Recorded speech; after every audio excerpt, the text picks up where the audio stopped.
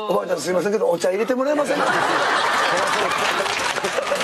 すいません。ねなん。か催促したみたいなママはママ今お茶入れに行ってくれてごめん。ね君1歳なのに喋れるのもばあちゃん。いたよそれしか言えないの君ねえパパは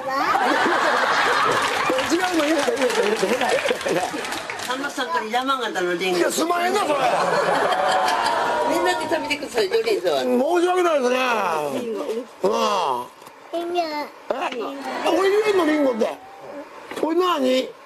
みんなえらいねリンゴって言えるんだ。これ何？難しいだろうね。レモン。違います違いましたいやいいとこ言えないの。これ何？お箸これ。は？リンゴ。これ何パパ。パパでいいんですか？ねえすいません。そういうことになりましたんで。